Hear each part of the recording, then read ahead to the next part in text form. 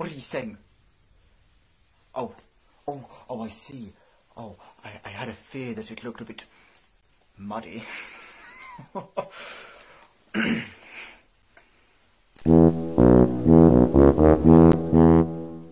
afternoon. As I am now back from having my child, my my eighth, seventh child, uh, I want to reiterate one message. Last week, we asked you. Last week, we asked you. Last week, we asked you to stay home, stay live. Last week, we asked you to stay home, stay alert, and save lives. Uh. We are now asking you to stay home, to stay home, to stay home, to stay alert, to save the NHS, and to stay. We are now asking you to stay home, to say no, no. We are now asking you to stay home, to save the NHS, to stay alert, and flatten the curve. If you want to go to work, go to work if you are able to.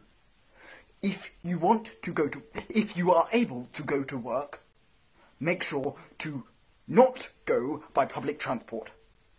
But drive. Don't drive. If you want to go to work, go by bike.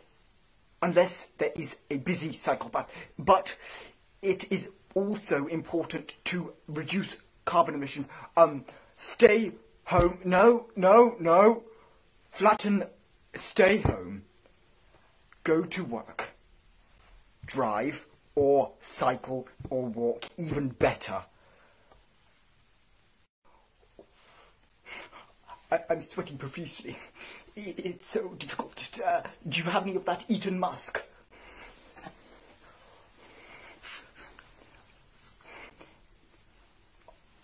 XAEA12. I wanted the other one.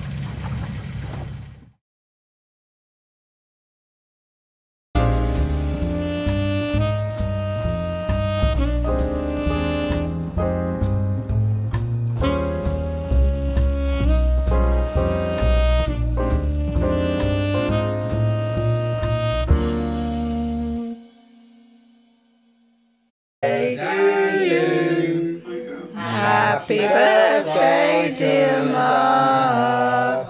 Happy birthday to you.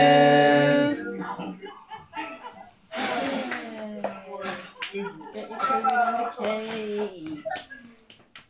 Well, at least there's not 60 candles to blow out anyway. well, it's a it's um it's a secret how old you are because you're an African Time Lord. But it's rumoured that you've had your 60th birthday some time ago. I, I think that can't be true. You're about 45, aren't you? Um, I was born in 56, that's about it. 56. Wow. So there we are. Well, you- now you know and everybody else knows, but that's it. Okay. Well, you're better preserved than I am.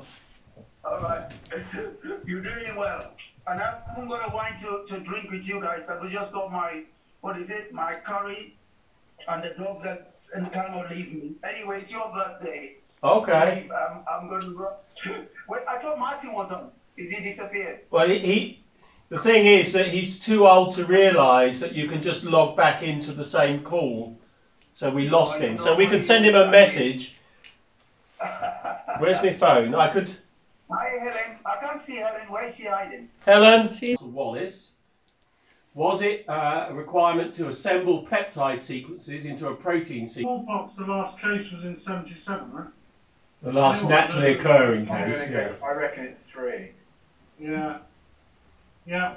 Definitely. I'm afraid the answer was, in fact,